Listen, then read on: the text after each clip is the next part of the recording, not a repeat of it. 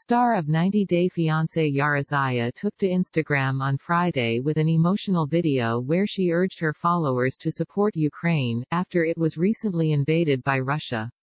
The Ukraine-born beauty, 26, revealed that though her family are in a safe place, there is a lot of crazy stuff going on there right now and that people of Ukraine need support.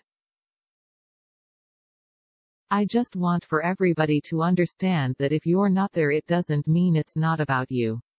It's about all of us because we all live in the same world, she said. The reality TV star started out her video by apologizing for her appearance, admitting that she hasn't gotten much sleep lately because of the tense situation going on in Eastern Europe. And in a photo posted to her Instagram story she wrote, Honestly, it's hard to sleep when you don't know what will happen to your friends and family.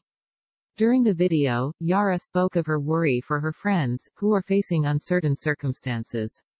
They're so scared. They're terrified. My friends are calling me, they're hearing bombs. They're hearing noise, she said. Yara also recalled how her female friend was forced to sleep in a parking lot.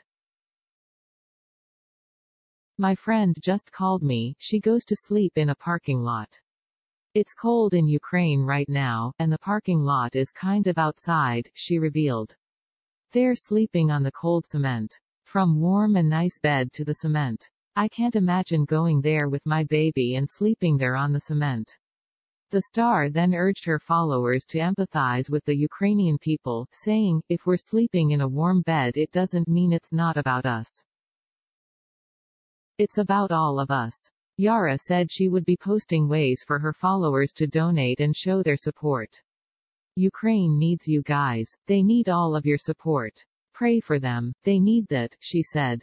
The star also appeared on Fox News on Friday speaking about the dreary reality of the situation.